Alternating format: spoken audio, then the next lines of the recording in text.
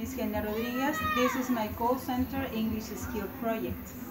For that, I'm going to answer some questions. The first is, what are my key insights and transition points? Call center English skills is a very important class that helps us to develop the necessary skills to deal with customers and also uh, learn to communicate in the best way and to understand the customer. Each client is different and their needs too. As an agent, uh, we need to have a correct pronunciation, intonation, and the knowledge of the product or service being provided to make the customer feel confident and sure that he or she is getting the best service.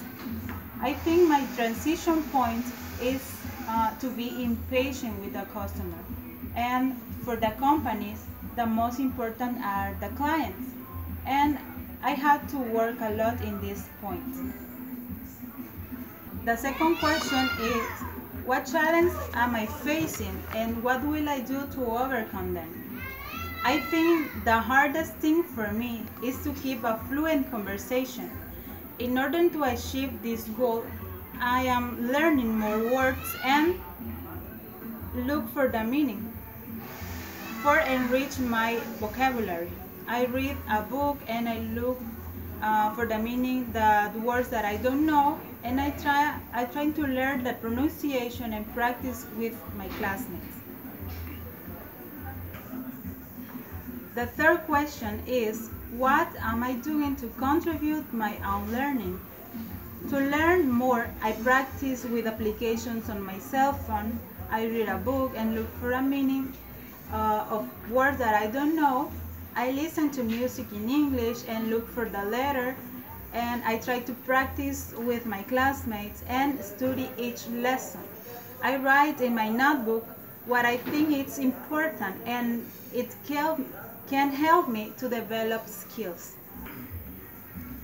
The last question is, what specific learning am I gaining in the call center English skill class that will be most useful in my, my professional practice?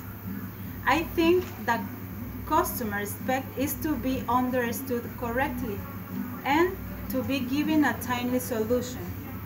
For that, the agent should explain and give instructions clearly.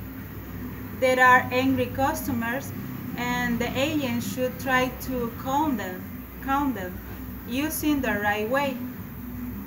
As being friendly, give them confidence and listen them. There are customers who don't know how to explain the problems that they have and the agent must make a probing question looking for information.